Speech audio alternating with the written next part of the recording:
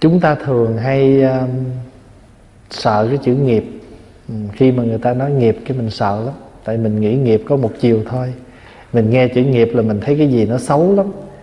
Nhưng mà thật sự ra nghiệp là gì? Nghiệp là những hành động. Nghiệp là cái gì mà chúng ta suy nghĩ thường xuyên thành thói quen gọi là ý nghiệp. Chúng ta hành động thành một thói quen gọi là thân nghiệp. Còn mình nói cái gì mà thành thói quen là khẩu nghiệp. Như vậy thì cái chữ nghiệp á, là dựa theo những cái gì những cái thói quen thành một cái sức mạnh. Và có khi nếu nó là lành thuần thì gọi là nghiệp báo lành. Cho nên thường nghiệp nó đi chung với nghiệp báo. Nghiệp báo là gì? Tức là những cái quả báo mà chúng ta nhận được từ những cái việc làm chúng ta. Nhưng mà cái chữ nghiệp báo nó cũng không có xấu. Nó là một chữ để xác định khi chúng ta nhận cái quả báo gì. Thí dụ bây giờ mình nhận cái quả báo thiện, thì đó là quả báo thiện. Nhưng mình nhận một cái điều xấu thì gọi là quả báo xấu. Cho nên cái chữ quả báo không có xấu. Ví dụ bây giờ một người đó, người ta tu hành rồi cái thì à, người ta làm thiện hay là người ta niệm phật chuyên cần thì đến lúc người ta, khi người ta mất, có thể người ta biết trước ngày giờ chết. Hoặc là người ta có những cái thoại tướng, tức là những cái điềm lành khi người ta mất. Thì mình mới nhìn vô đó mình nói, ồ, cái bác đó nghiệp báo tốt. Đâu có xấu. Thành thử cái chữ nghiệp báo đó, đa phần là mình nghe chữ đó mình sợ lắm, vì mình nghĩ cái đó là cái gì đó nó xấu nhưng mà thật sự nghiệp báo là gì? Là những kết quả của nghiệp, của hành động của chúng ta. Thì tùy theo hàng ngày mình làm cái gì. Nếu mình hàng ngày mình làm nghiệp tốt, thì mình được cái quả báo tốt, gọi là nghiệp báo tốt. À nếu mà mình làm cái việc xấu thì gọi là quả báo xấu. Cho nên chữ nghiệp không có gì xấu hết. Thí dụ như mình nói sự nghiệp sự nghiệp tức là sự nghiệp của của chúng ta. Cho nên ờ, mỗi người ai cũng có một sự nghiệp. Mà người tu sự nghiệp của người tu là gì? Sự nghiệp của người tu là trí tuệ giác ngộ. À, sự nghiệp của người đời là có công ăn việc làm thành tựu được một cái gì đó trong cuộc đời họ gọi là sự nghiệp cho đời họ. Nhưng mà người tu sự nghiệp của người tu là làm sao có được trí tuệ và giác ngộ và đó là sự nghiệp của mình. Cho nên tất cả chúng ta sống trong đời này thì ai cũng mỗi ngày đang tạo nghiệp hết. Nhưng mà nếu mình không có chánh niệm, mình không có tỉnh thức thì mình tạo nghiệp xấu. Ví dụ ngày hôm nay quý vị để hết một ngày vào đây, niệm phật, niệm từ sáng đến trưa, rồi nghỉ ăn cơm chút, rồi niệm tiếp. Cả ngày nay mình không có nói bậy, không nói xấu ai, không hành tỏi ai hết thì mình đang làm gì? Mình đang tạo nghiệp tốt. Mình đang tạo nghiệp tốt. Còn nếu như mình dùng cái thời giờ đó, mình đi nói những cái điều không đúng, mà mình thiêu dệt những chuyện gì đó, nói xấu người này người kia, thì cái đó là nghiệp xấu. Thì cái quả báo xấu nó đến với mình. Lý do pháp hòa nói là vì, là gì? Là bởi vì chúng ta đang học cái quyển kinh U bà tắc giới, tức là kinh dạy cho người cư sĩ tại gia tu tập. Và hôm nay, chúng ta đang học tới cái phẩm thứ 24 và phẩm 24 này có cái tên là nghiệp. Một chữ thôi. Cái phẩm thứ 24 này có tên là nghiệp. Thì Pháp Hòa phải giải thích cho đại chúng nghe sơ. Thật ra, đã là Phật tử ít nhiều gì người ta đều biết chữ nghiệp, nhưng mà phần lớn hiểu lầm cái chữ nghiệp lắm. Nghe chữ nghiệp cái sợ. Hay thậm chí ta nói quả báo, tại vì mình cứ xưa nay mình thấy ai bắt cái, ai bị tai ương gì thì mình mới xài cái chữ đó. Đó, cái bà nó bắt quả báo đó. Cái ông nó bắt quả báo đó. Mình nghe có cái cái phần tiêu cực không à? Cái từ đó về sau mình bị ám ảnh cái chữ đó ai nói cái gì mà có cái chữ quả báo, cái tôi làm cái gì mắc quả báo? Mình nghĩ là cái chữ đó nó xấu, mà thiệt sự đâu có xấu. Nó là một sự kết quả. Nhưng mà nếu mình làm lành thì mình sẽ được quả báo lành. Mình làm xấu thì gặp cái quả báo xấu. Và thưa đại chúng, hàng ngày chúng ta không bao giờ mà dừng sự tạo nghiệp. Nhưng mà có điều là tạo nghiệp xấu hay nghiệp thiện thôi. Ví dụ như có lúc nào mình nghĩ, ngưng không suy nghĩ không? Có lúc mình ngưng không nói không? Mà không nói cái nó nghĩ con người mình mà hãy nín là bắt đầu suy nghĩ. Mà hãy suy nghĩ cho đủ rồi thì sao? Nó nói. Mà không nói không nghĩ thì là gì? Hành động. Cho nên có thể nói là trừ khi nào ngủ thôi. Chứ còn hãy thức cái là tạo nghiệp à, à sành sạch nói cả ngày lăng xăng cả ngày. Nhưng mà nếu không đủ chánh niệm thì tạo nghiệp xấu qua miệng tạo nghiệp xấu qua thân qua ý. Thì cái phẩm này có cái tên là nghiệp và hôm nay chúng ta học. Kinh này kỳ thứ 76 tức là chúng ta đã qua 75 lần học kinh này. Nếu mà nói là mỗi bữa một tiếng là mình học 75 tiếng rồi đó. Bây giờ hôm nay mình à, học phẩm nghiệp kỳ thứ 76 thiện sanh thưa tức là cái ông có một người thanh niên trẻ tên là thiện sanh thưa phật rằng, bạch đức thế tôn, các đức phật như lai lúc chưa xuất thế, vị đại bồ tát lấy gì làm giới? Bây giờ ông này ông nói là phật ra đời, phật dạy chúng con tu này tu kia thì chúng con biết cái đó là giới. Bây giờ giả dụ như phật chưa ra đời thì chúng con nương vào cái giới nào để mà tu? Đấy, lúc phật chưa xuất thế, vị đại bồ tát lấy gì làm giới? Phật nói, phật đáp, thiện nam tử, lúc đức phật chưa ra đời, khi ấy chưa có giới tam quy y, nhưng người có trí cầu đạo bồ đề, tu mười pháp lành. Mười pháp lành ấy, ngoài phật ra không ai phân biệt nói được. Đức phật đời quá khứ nói truyền nói dần dần cho đến đời nay không mất người trí thọ trì. Tức là phật nói rằng khi phật chưa có mặt ở đời này thì chưa có pháp tam quy. Tam quy là gì? Quy phật, quy pháp, quy tăng. Quy y phật tức là quy y với đức phật, là người thầy dẫn dắt cho mình. Quy y pháp là lời dạy của phật. Quy y tăng là đoàn thể của những người tu tập cho nên phật nói khi phật chưa ra đời chưa có pháp tam quy. Nhưng người trí cầu đạo bồ đề tu mười pháp lành. Mười pháp lành ấy ngoài đức phật ra không ai phân biệt nói được. Vì đức phật khi mà khi mà đức phật à, chưa có ra đời ví dụ như mình mình nói ví dụ như hồi xưa ở trung quốc á đạo phật chưa có mặt. Thì nước trung quốc đã có năm cái điều mà nó tương đương với năm giới. Nhân, lễ, nghĩa, trí, tính. Thì cái này người trung hoa gọi là ngũ gì? Ngũ thường. Ngũ thường nghĩa là năm điều mà chúng ta cần phải giữ. Đây là năm cái luân thường của một con người. Thì nhân là gì? Là lòng nhân. Mà lòng nhân này là nó tương đương với giới thứ nhất là không sát sanh.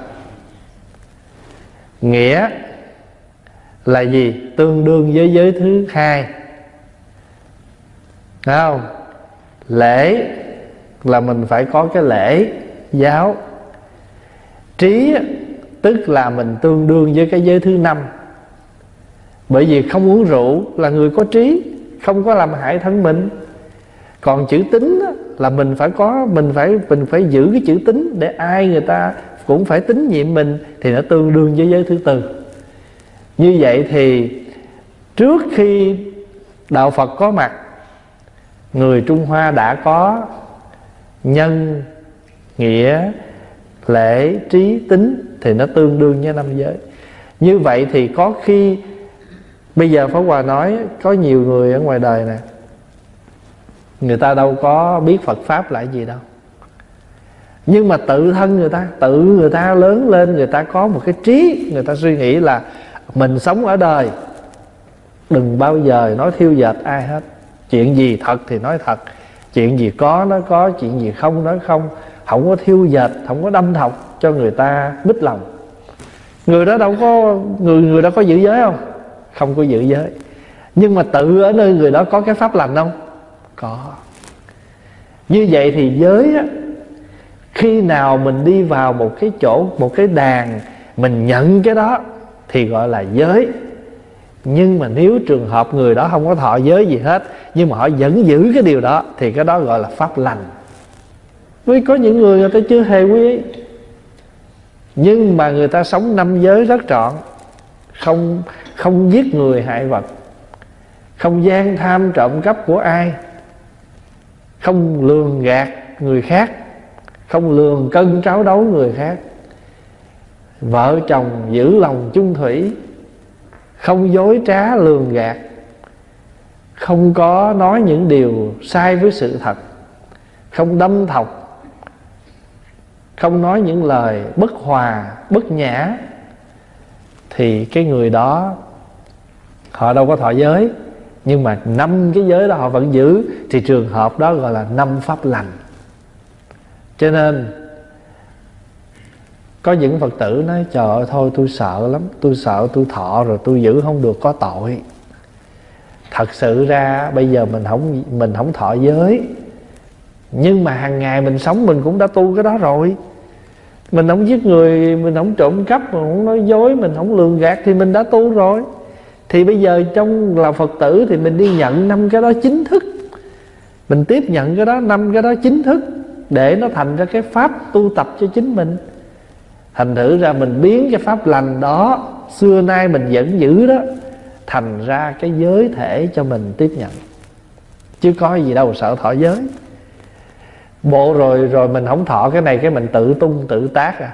Mình tự nói, mình tự đi giết người, hại vật, tự đi ăn cắp ăn trộm, sao?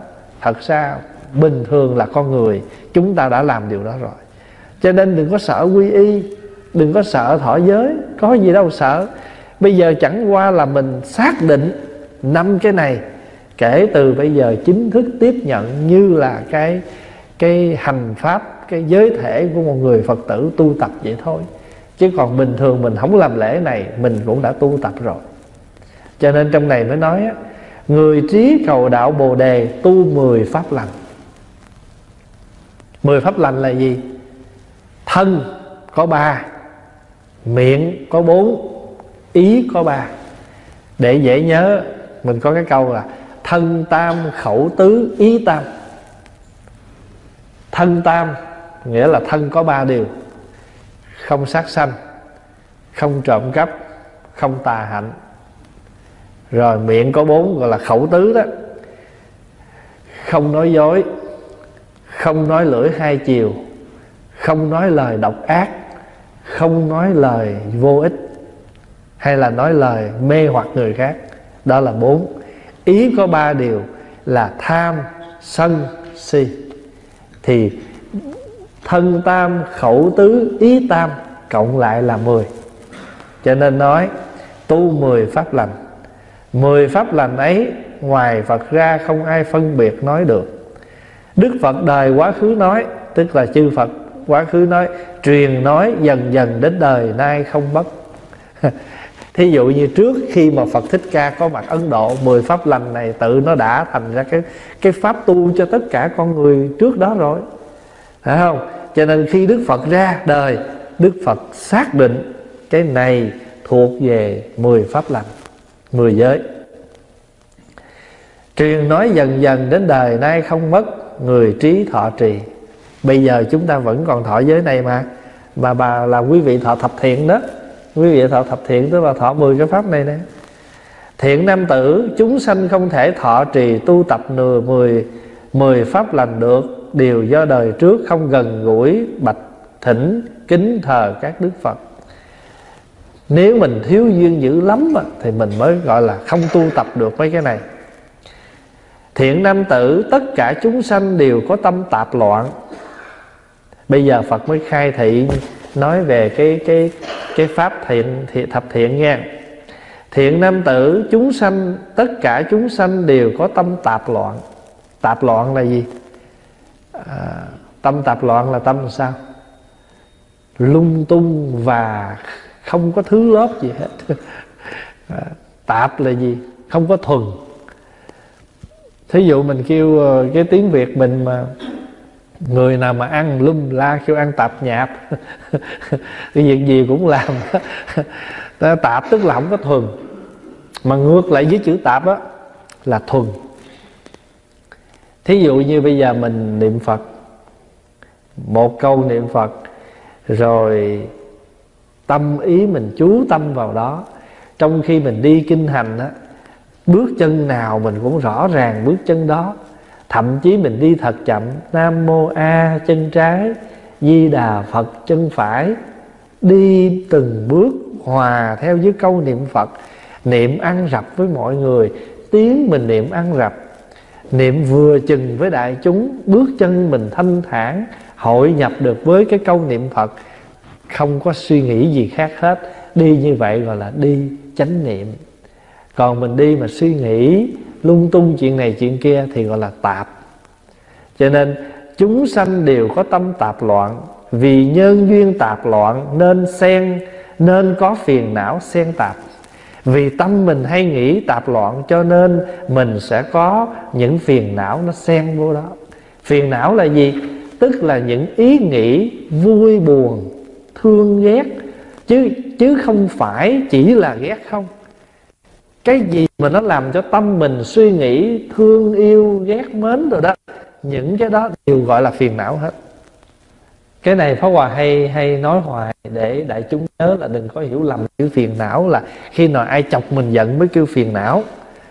Phiền não là khi nào tâm mình không còn an tịnh như thỏa bình thường nữa. cũng giống như người đó đang tu hành rất là tốt không có gì trở ngại hết. À, tự nhiên cái là mình à, nhớ nhung người nào đó thì cái người mình nhớ đó là thuộc dạng phiền não đó. Hay là mình buồn ai đó thì cái này là thành phiền não là chuẩn rồi. Thấy không? Thành thử phiền não nó có khi phiền não êm ái à. Phiền não không êm ái nghĩa là mình ghét tức người đó. Còn phiền não êm ái là gì? Thích nghe người đó thích nhớ tới người đó thích gặp người đó. Không có mình nhớ mình thương thì cái đó cũng là phiền não. Cho nên trong này mới nói vì nhân duyên tâm tạp loạn nên có phiền não xen tạp. Vì phiền não xen tạp nên tạo tật những nghiệp xen tạp. Có phiền não là có nghiệp. Vì sao? Có phiền não thì buộc lòng phải làm cái gì đó mà thành thói quen thì phải ví dụ bây giờ à, mình à, theo dõi một bộ phim ở trên à, youtube. Rồi coi xong cái bộ phim đó rồi mà nó hết nửa chừng một tức muốn chết mà không biết cái kết quả sắp tới là cái gì mà chờ tập nữa lâu quá. Rồi cứ ngày nào cũng bấm chờ cái bộ phim đó. Rồi suy nghĩ về cái người đó, trời ơi, sao cái thằng đó nó ác quá mà sao tập 43 rồi nó chưa chết? Mắc mớ tới mình đâu. Nhưng mà mình cứ nhớ cái anh chàng đó, anh thì cái này gọi là phiền não rồi đó, nó xen tạp vô đó. Rồi chẳng những như vậy, vì tạo tật nghiệp xen tạp, do nhân duyên tạp, nghiệp thọ sanh, các cõi xen tạp. Tới giờ người ta đi ngủ, mà mình biết cái phim này tới cái giờ đó nó mới chiếu. 12 giờ thức canh coi.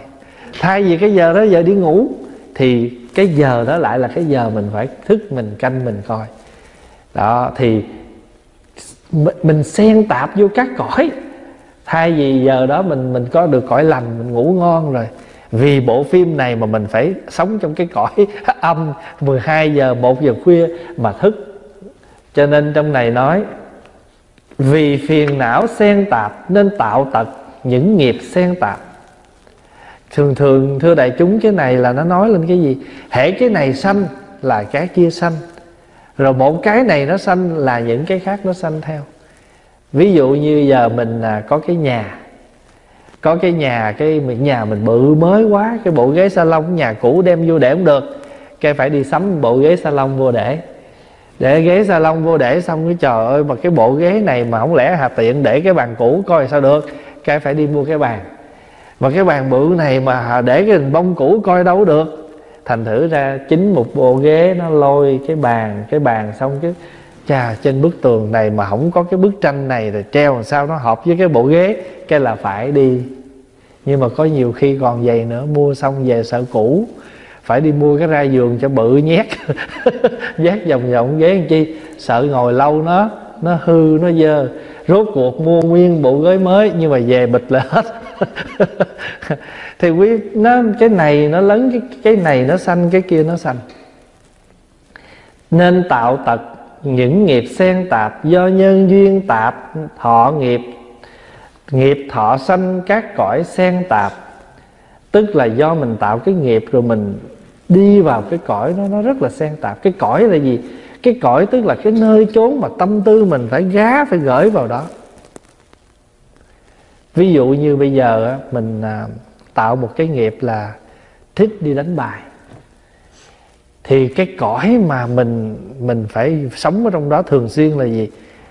Khói thuốc, chửi bới, nóng giận, tức tối. Tại vì mình đi vào cái cõi đó. Rồi bây giờ ví dụ mình không thích cái đánh bài, mình thích nhậu nhẹt, thì mình cũng lại rơi vào một cái cảnh giới sống say xỉn tối ngày thành thử mỗi người do cái nghiệp mình khởi mà mình lại sanh vào trong cái cõi đó. Ví dụ như hôm nay, mình thích tụng kinh hay là nói chung xưa nay mình thích tụng kinh, thích nghe pháp, thì vậy thì mỗi cuối tuần mình theo cái nghiệp thiện của mình, thích nghe pháp, thích tụng kinh, cho nên cái nghiệp đó lôi mình đi đâu? Lôi mình đi chùa. Vậy thì cái cõi của mình sống ở trong cõi này là cõi chùa. Cho nên cái cõi là cái nơi chốn mà tùy theo cái nghiệp. Hễ nghiệp mình lành thì mình sanh cho cái cõi lành nghiệp mình dở xấu thì mình sanh vô cái cõi xấu. Ví dụ cái người nào mà thích uh, cá độ coi thì cái cõi của họ là gì?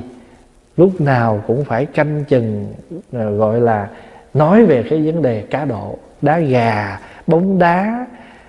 Mà chúng sanh mà nó thích cờ bạc mà nó có máu cờ bạc rồi gì nó cũng cờ bạc được hết á. Người ta đánh đá banh nó cũng tạo ra nguồn cờ bạc. Rồi ở đây có cái vụ hockey nè Thấy không? À, hockey rồi đá có đội đá đánh cá đá, đá, cá độ có đội nào thắng.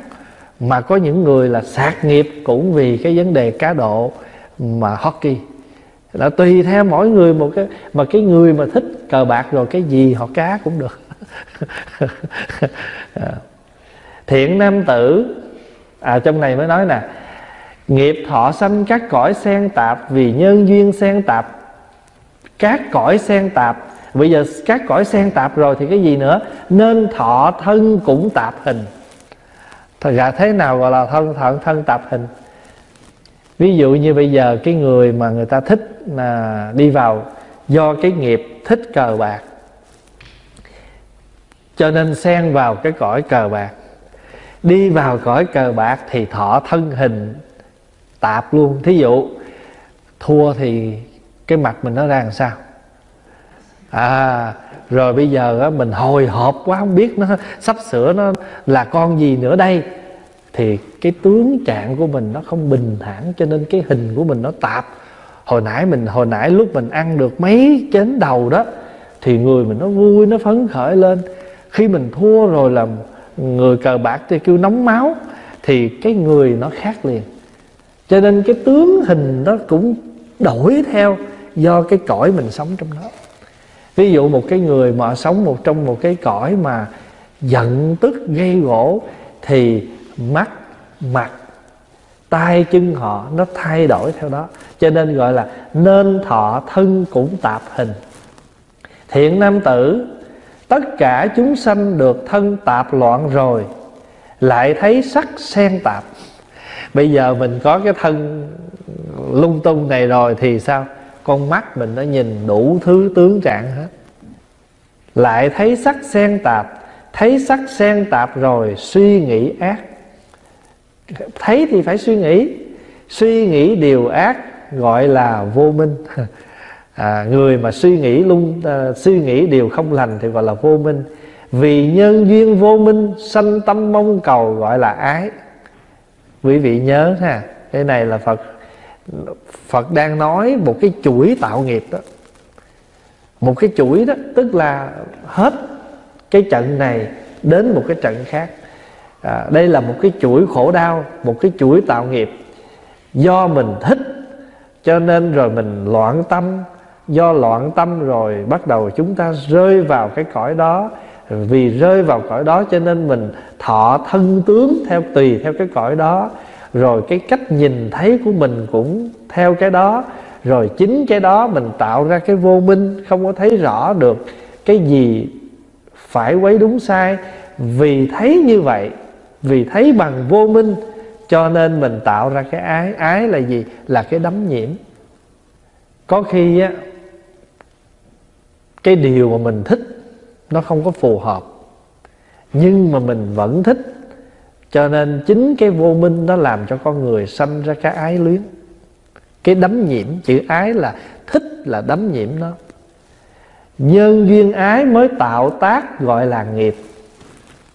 Pháp Hòa ví dụ như bây giờ á, Một cái người đó đó, Họ thương một cái người kia, Mà bây giờ họ, Cái người kia là cái người không tốt, Nhưng mà do vô minh Họ ái rồi.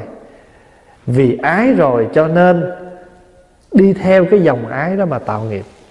Cũng giống như cách đây Hơn 20 năm vậy. Có cái cô đó Cổ có hai đứa con trai. Thì cổ à, ly dị và sau đó cổ thương một anh chàng. Thì cái anh này mới nói với cổ á là anh này chưa có sẵn sàng để tiếp nhận một người vợ mà đã có hai đứa con tức là ảnh có thể tứ cô này nhưng mà ảnh không có tiếp nhận hai người con này. Người mỹ mà. Thì cô này nghĩ rằng bây giờ hai đứa con này cản trở cái con đường gọi là lấy chồng của cô. Cho nên cô mới để hai đứa nhỏ trong chiếc xe. Cô lái đến cái dốc rồi cô đi xuống xe và cô để cho cái dốc, cái xe đó nó lao xuống cái cái hố đó cho hai đứa nhỏ nó chết trong chiếc xe đó và sau đó và cô nghĩ rằng cô làm như vậy á, là cô giải quyết xong hai đứa nhỏ rồi là cô sẽ tự do và người chồng này, cái người đàn ông đó sẽ cưới cô. Nhưng mà ở đời nó đâu phải đơn giản như vậy đâu. Mình giết người chứ đâu phải là mình dục hai cái hai cái trứng xuống hố đâu. Thì hai đứa nhỏ nó lao ở dưới cái hố đó, nó nó chết trong chiếc xe đó, thì người ta phải điều tra. Thì cuối cùng bắt được cô khi mà điều tra thì người ta mới biết sự việc là vì cô người bạn trai nói với cô một câu thôi. I am not ready for your kids. Đó là cái câu người bạn trai của cô nói với cô. Và chính vì vậy vì ái vì vô minh sanh ái cho nên chính cái ái bằng vô minh đó, ái mà ái vô minh đó, thì nó làm cho con người tạo nghiệp chứ còn ái thì cái chuyện bình thường, nhưng mà nếu như mình ái mà ái trong tỉnh thức thì nó khác. Ví dụ mình ái trong tỉnh thức, mình thương người đó, mà cái người đó người ta không thương mình thì mình tỉnh. Con người mà ai cũng được quyền thương hết á. Không? Nhưng mà mình thương, nếu mà người đó không có thương mình, hay là mình thấy rõ ràng người đó thương mình không phải bằng tình thương chân thật mà họ lợi dụng mình, mà mình vẫn lao vào thì chính cái vô minh sanh ái và tạo nghiệp. Rồi bây giờ Pháp Hòa, ví dụ bây giờ Pháp Hòa ham chức quyền, Ham cái chức đó quá. Ví dụ như quý vị coi phim, Quý vị thấy có nhiều người họ muốn làm vua quá.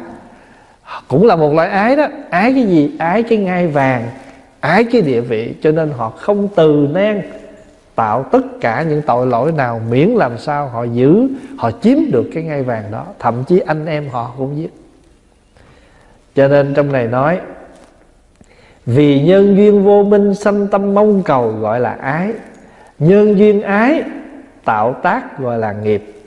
Vì nhân duyên của nghiệp ấy sẽ mắc quả báo. Đó, thì bây giờ mình tạo nghiệp rồi thì cái quả báo trước sau thôi. Rồi quý vị biết không, cuối cùng á, điều tra ra là chính mẹ ruột của hai đứa nhỏ đó đẩy hai đứa nhỏ.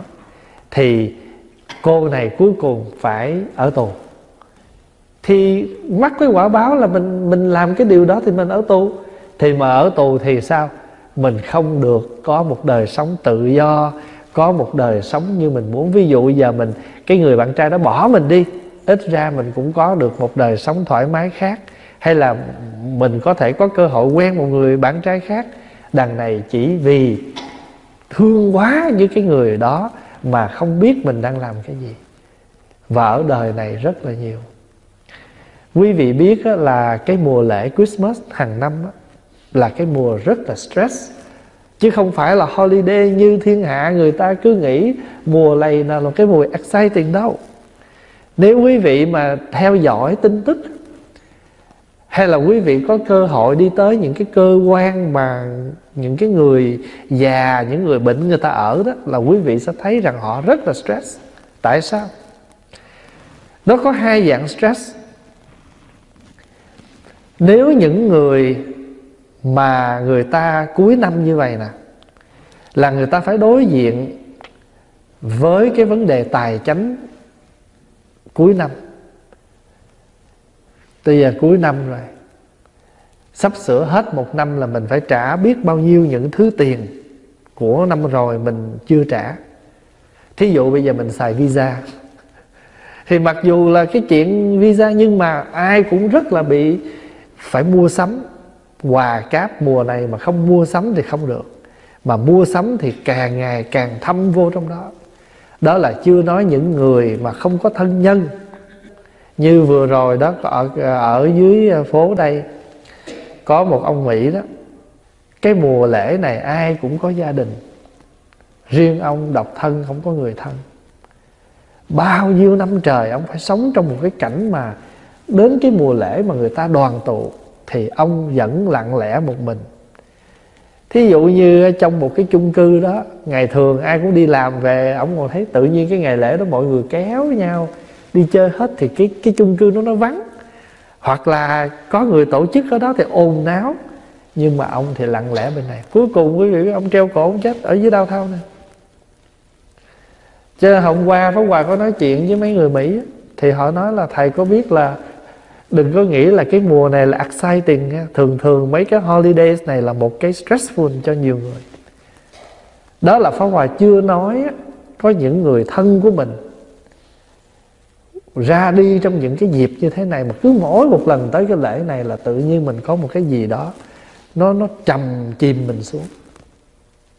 Có những người cha mẹ mất hay là người thân mất vào dịp lễ này, hoặc cuối năm, hoặc đầu năm mình mất giữa năm với những cái khoảng thời gian khác không sao. Nhưng mà cái đặc biệt là nó nằm ngay cái thời điểm mà nó lúc nào nó cũng in đậm.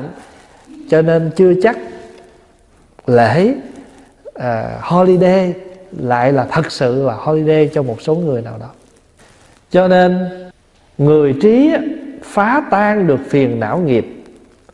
Do ở trong có phiền não cái người trí phải phá tan được cái cái nghiệp của phiền não thưa đại chúng á, mình nghĩ nghiệp là à, khẩu nghiệp thân nghiệp đồ vậy phải không? Nhưng mà nó có một loại nghiệp gọi là nghiệp phiền não. Quý vị nhớ nguyện tiêu tam chướng không? Nguyện tiêu tam chướng trừ phiền não đó. Báo chướng nè nghiệp chướng nè phiền não chướng. Phiền não cũng là một loại nghiệp thí dụ như sao gọi là nghiệp phiền não? Ai làm cái gì mình cũng có ý kiến chê khen hết. Một dạng phiền não đó. Nó cái tâm của mình nó không bình thường. Ví dụ người ta ta làm cái đó bình thường đi, mà người, lúc nào mình cũng có một cái vấn đề với bất cứ một cái chuyện gì với ai đó. Lâu ngày đó, ở ngoài đời ta kêu là cái gì? Người rắc rối ta nói, ta đâu biết xài chữ phiền não giờ ta nói, cái ông nó rắc rối lắm. Cái gì ông cũng nói được hết á. Cái dạng đó, phiền não đó. Cho nên đức phật nói trong này nè, người trí phá tan được phiền não nghiệp. Đừng có để cái chuyện mà mình hay phiền muộn, nói này nói kia nó thành cái nghiệp của mình. Do đó, do ở trong có phiền não. Đây nhớ nha, ở trong có phiền não ngoài nhờ nhân duyên, thời có thể ràng buộc.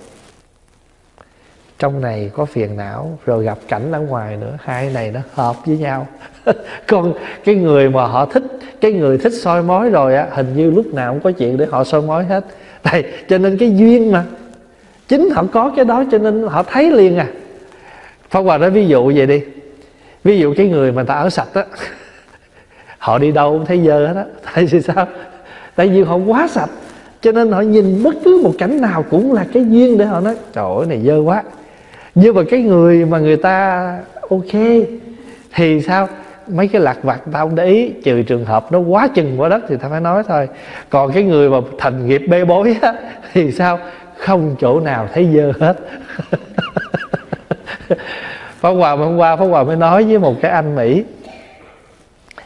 Pháp Hòa nói á có những người á, Cái người ta nghĩa là cái đầu của người ta là cái đầu làm việc á, Mở mắt ra đi ba phương bốn hướng Đều thấy việc để làm. Còn cái người mà không thích việc á, Trước mặt họ là một cái đống rác, Họ vẫn đi ngang bình thường. Tại sao cái phòng nó dơ mà nó vẫn ôm nó ngủ được? Nó đâu có thấy dơ, Nó thành nghiệp rồi. Còn mình, nghiệp ở sạch cho nên bước vô mình thấy cái ghế nó cũng để trật, cái khăn nó máng cũng không đúng. Còn cái đứa mà nó bình thường, thấy có gì đâu. I'm fine. Còn mình không fine, cho nên tất cả đều là nghiệp. Tất cả đều là nghiệp, nhưng mà hãy, nó có ba dạng. Nghiệp, mọi, có cái nghiệp trung bình là gì? Cái gì dơ lắm mới nói, còn cái gì sơ sơ thôi. Thấy không? Hoặc là ta nói cái nào mà nó nấu mặn lắm, mình mới lên tiếng, còn nấu nó hơi được được á không ăn được thêm. Còn cái người mà nặng nề hơn là gì phải không? Không có món nào khen hết lạc nhách ngọt ngay, bằng chát, chua lè, cái gì cũng có nói hết.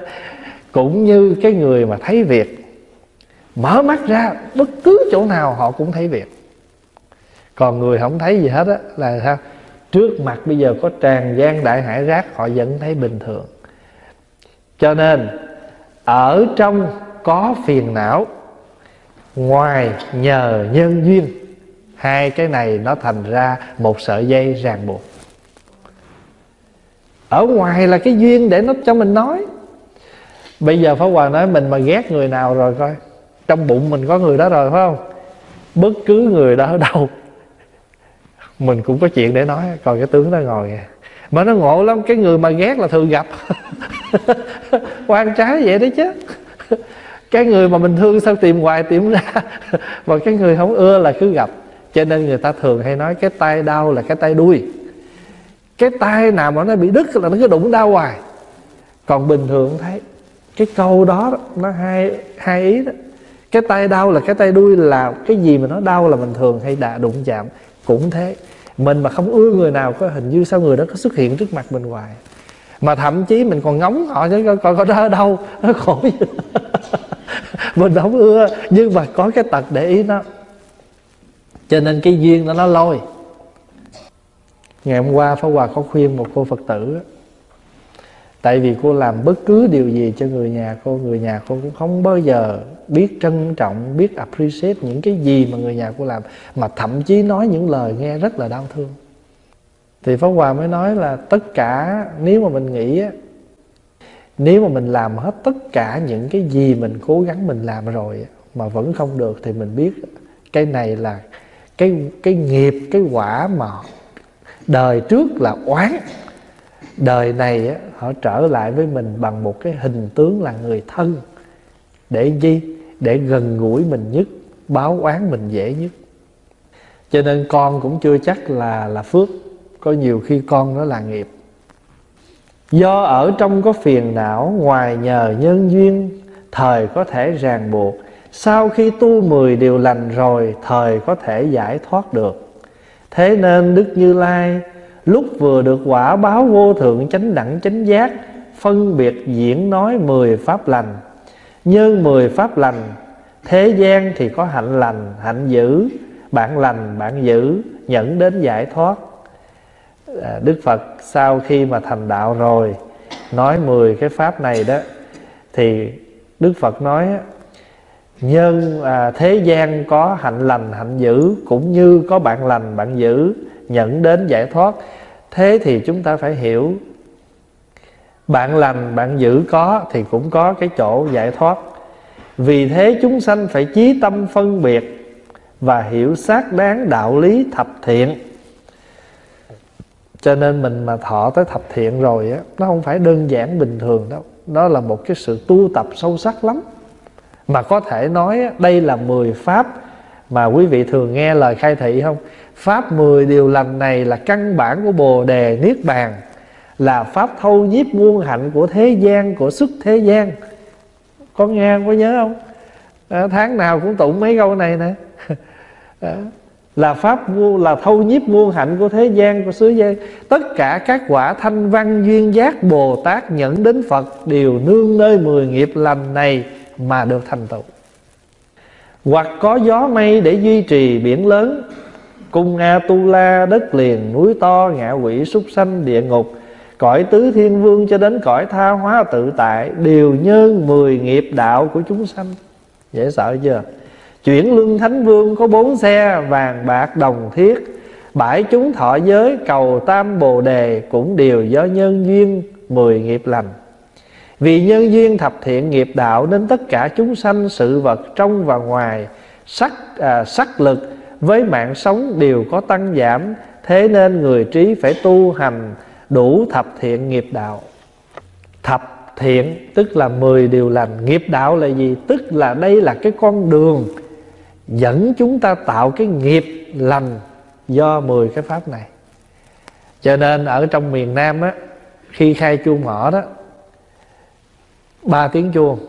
Xong rồi bên này ba tiếng mỏ. Là ba rồi phải không? Một tiếng chuông một mỏ một chuông một mỏ một chuông một mỏ. Rồi xong dứt tứ. Cộng hết lại tổng cộng là 10 tiếng mỏ. Tượng trưng cho 10 cái này nè.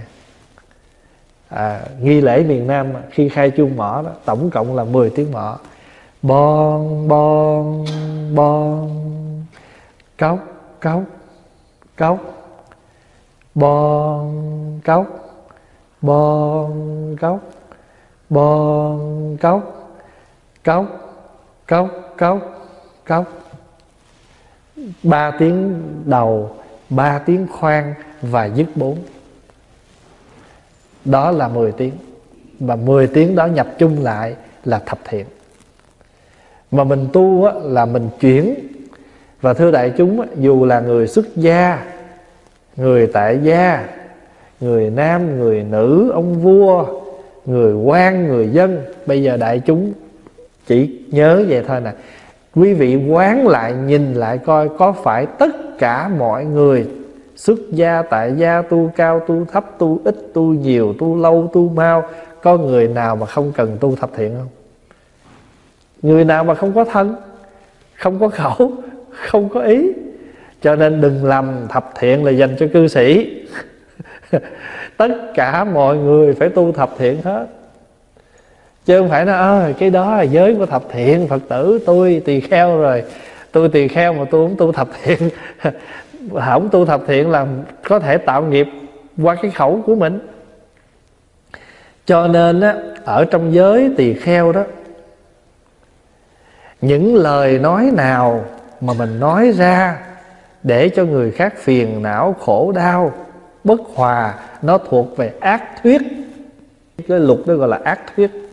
Còn những việc làm gì mà chúng ta làm tổn hại đến người khác gọi là ác tác? Ác tác tức là làm cái việc làm đó ác. Còn ác thuyết tức là lời nói đó không tốt. Nó cũng rơi vào thập thiện thôi, nhưng mà ở một cái chữ khác bên sai nếu các chúng sanh lúc nhỏ hay trai tráng đến già cả, mùa xuân, hạ thu, đông, khởi lên phiền não, mỗi nỗi riêng khác, tiểu trung, đại kiếp phát sanh phiền não cũng như thế, mỗi nỗi khác nhau. Chúng sanh đầu tiên tu tập mười nghiệp lành được thọ mạng vô lượng và sắc hương vị đầy đủ nhân vì tham sân si, tất cả đều tiêu tan. Vì nhân duyên nghiệp đạo của thập ác kia, nên thời tiết năm tháng tinh tú nhật nguyệt, đất nước gió lửa đều biến khác. Nếu người có thể quan sát những việc như thế, nên biết người ấy được giải thoát. Ở đây là nói đến đời sống của chúng ta, nó ảnh hưởng đến những cái thời tiết đất nước xung quanh bây giờ ví dụ ha một cái nơi nào đó mà đại chúng người ta sống ở trong đó mà đều người ta sống mà người ta không có giữ gìn thân nghiệp khẩu nghiệp thì tự nhiên cái môi trường chỗ đó mình bước vô mình cũng cảm nhận được. À, rồi hoặc là bây giờ một con người mà sống mà xung quanh này á, nếu mà người mà người ta sống mà không có biết bảo vệ không biết giữ gìn người ta cứ tàn phá thì cái chỗ cái môi trường đó nó dễ. Ví dụ như thế giới con người mình sống cứ khai thác mà không có biết bảo vệ thì thiên nhiên nó phải bị à, bị thao tổn. Mà thiên nhiên hao tổn thì ảnh hưởng tới thiên tai bão lụt. Rồi ví dụ bây giờ cái chùa đi mình nói ví dụ cái chùa bây giờ mỗi khóa tu hàng trăm ngàn ngàn người tới. Nhưng mà một ngàn người tới họ không biết giữ gìn gì hết. Xả nước thả vàng không tắt đèn mở không có tắt rồi tường đâm lũng lỗ hết. Thì sau một khóa tu thì cái chùa đó nó tan quan hết. À cho nên ở trong luật á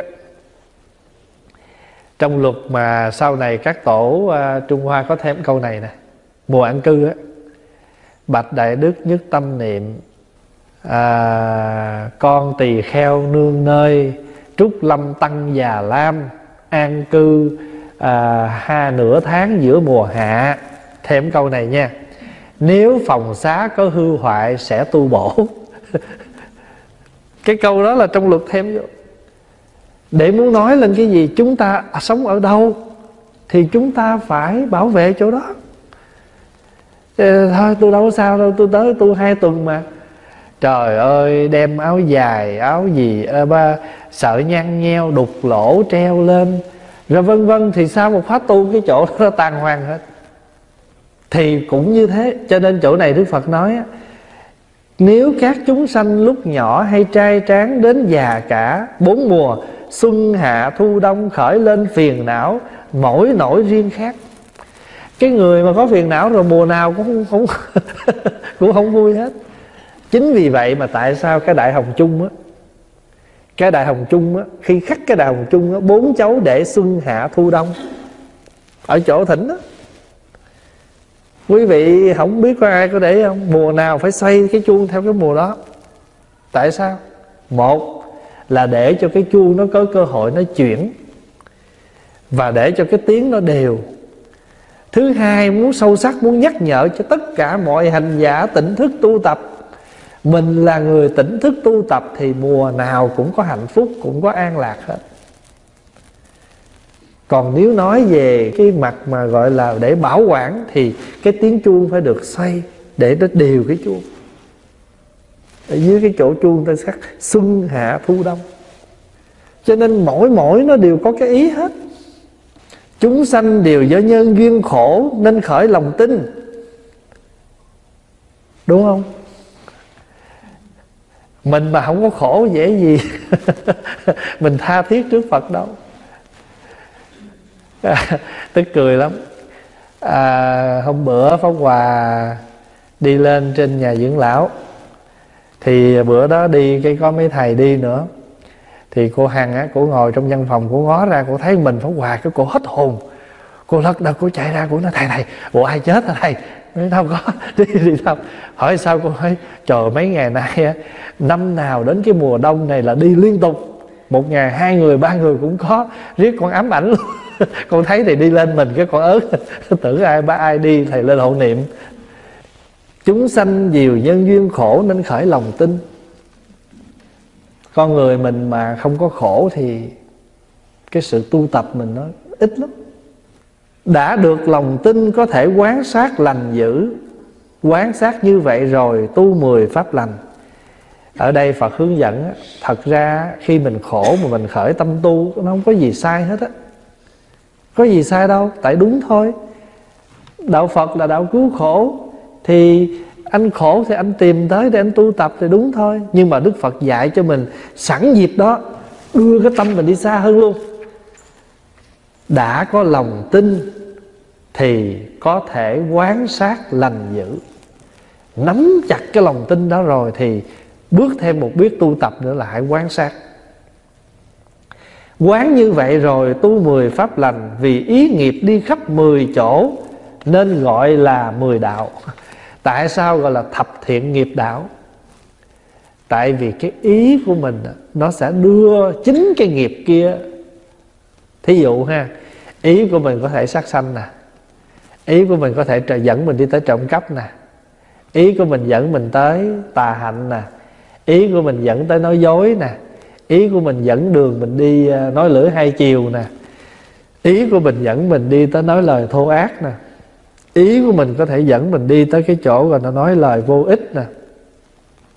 Ý của mình dẫn tới tham nè. Ý của mình dẫn tới sân nè.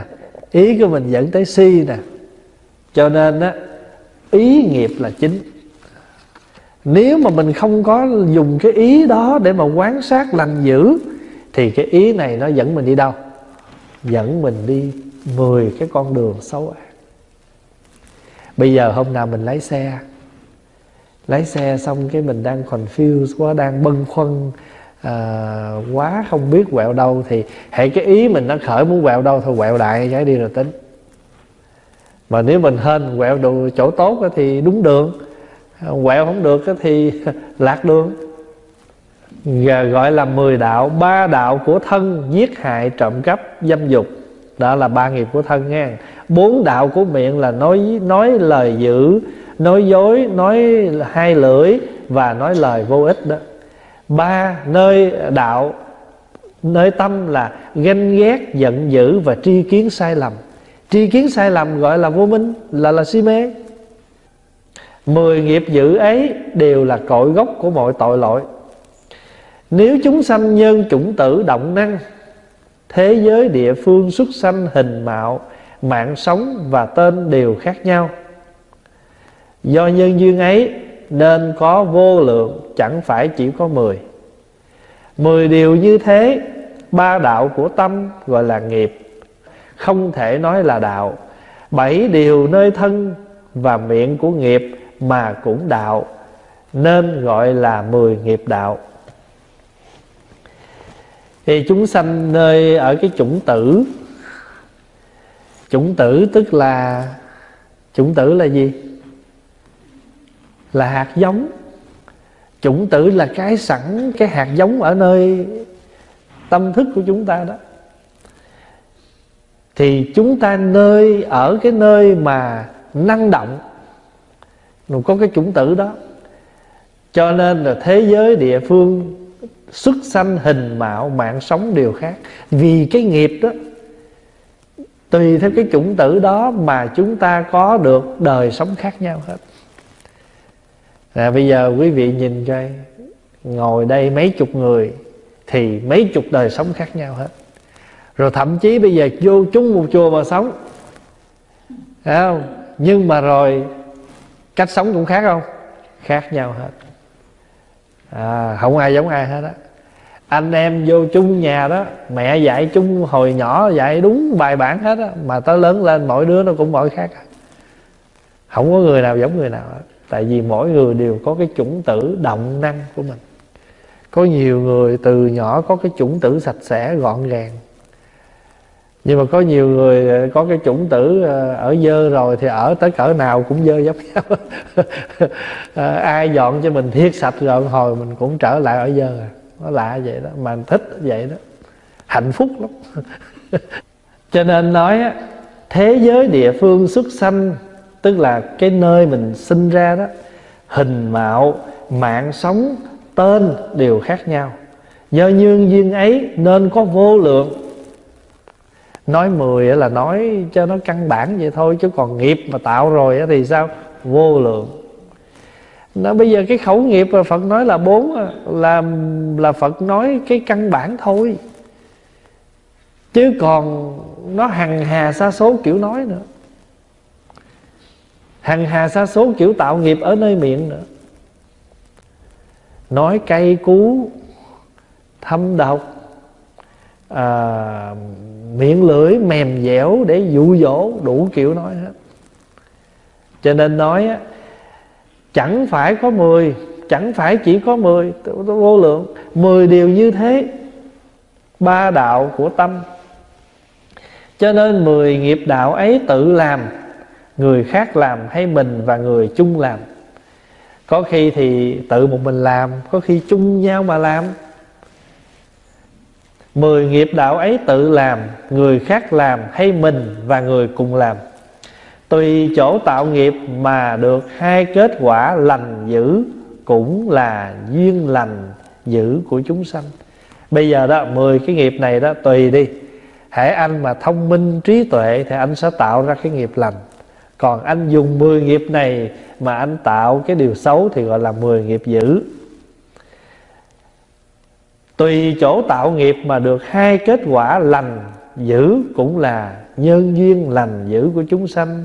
Thế nên người trí hãy còn không nên nhớ huống chi thân cố ý làm. Nếu người hành động, nếu người hành động khiến nghiệp phiền não và các kiết sử được tự tại, nên biết tức là thực hành mười nghiệp đạo dữ. Thế nên người trí hãy còn không nên nhớ huống chi thân cố ý làm, tức là người người mà có trí thì không nên nhớ tới cái dữ huống chi thân cố ý làm, nghĩ còn không nghĩ tới thì huống chi là mình, thân mình tự làm. Mình học một câu này nữa rồi mình nghĩ nè, nếu người hành động khiến nghiệp phiền não và các kiết sử được tự tại, nên biết tức là thực hành mười nghiệp đạo dữ. Chữ kiết sử là gì? Kiết sử tức là những cái phiền não mà nó trói buộc mình thì gọi là kiết. Và nó sai khiến mình gọi là sử. Sử tức là nó sai mình. À, à có một ở Việt Nam mình có một vùng miền nào đó hễ mà ai suối mình làm gì nó xử tôi làm đó chứ tôi đâu có làm. Tôi đâu có thích làm đâu nó xử tôi đó. Nó xử tôi là nó khiến tôi biểu tôi làm điều đó cho nên à, trong nhà Phật á, Đức Phật à, dùng cái từ là kiết sử là gì? Mình cột cái đó xong rồi chính cái đó nó sai mình nó biểu mình. Trong cái bài sám mà chúng ta thường tụng á, thập triền thập sử. À, triền là cột lại sử là nó sai mình. Nếu người hành động khiến nghiệp phiền não và các kiết sử được tự tại nghĩa là bây giờ các cái kiết sử này phiền não và các kiết sử được tự tại nên biết tức là thực hành 10 nghiệp đạo dữ. Nếu có thể phá hoại phiền não các kiết sử không khiến nó được tự tại. Người ấy chính là thực hành 10 nghiệp lành. Tự tại là gì rồi? Khi mà nó cột mình vô đó rồi là nó tự do nó tung hoành. À, cho nên cái người mà bị phá hoại ví dụ ha mình bị ai bắt mình trói mình lại thì mình hết tự do rồi thì cái người này bây giờ họ tự do, họ hành mình. Họ đánh mình cũng được, họ đá mình cũng được, họ xô mình cũng được, họ làm cái gì mình cũng được hết. Tại vì mình bất lực, mình hết, mình bất lực với họ rồi, họ cột mình lại rồi, thì họ xử mình rồi. Họ, bây giờ họ là cái người tự do, muốn hành phạt mình cỡ nào cũng được. Cho nên trong này mới nói khiến nghiệp phiền não và các kiết sử được tự tại tự tại là gì? Là nó tung hoành nó tự do nó muốn làm gì nó làm. Bây giờ mình nói ha mình nhỏ mình sống trong một cái môi trường mà người lớn cái mình sợ lúc nào mình cũng e dè. Bữa nào người mình biết cái người lớn đó không có nhà thì bắt đầu sao? Tung hoành. À, Pháp Hòa nhớ hồi nhỏ đi học cũng vậy Hôm nào mà cô giáo mà chuyên phụ trách lớp mình Mà bà tuyên bố bà nghỉ Do bà bệnh một cái rồi là thôi Trời lúc đó là đổi bàn. Bởi vì cái bà giáo mà vô dạy thế Bà đâu có biết đứa nào ngồi đứa đâu đâu. Cho nên cứ nhảy loạn lên hết Ngồi tùm lum chỗ hết. À, Bà kia bà thấy mình kết với cái tụi kia Nói chuyện quá hỏi mày ngồi đây hả? Dạ yeah, tôi ngồi đây. Bà đó là tới bà dạy có một buổi mà mình, mình biết người đó không có đó rồi là mình tung hoành. Thì phiền não kiết sử nó cũng vậy. Nó gọi là tự tại.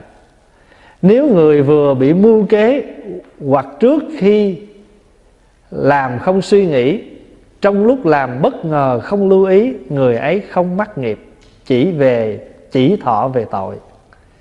À, cái người mà họ bị mắc mưu người khác thí dụ như người ta biết đó, mình không thích cái người kia. Hay là mình không người ta người cái hoặc là người đó gài mình để cho mình phải với người kia. Thế là mình hành động xấu với người kia nhưng mà tâm mình không có khởi. Mình đâu có ác tại mình bị mất mua người ta thôi. Thì tội mình có nhưng mà nghiệp cái ý nghiệp không có.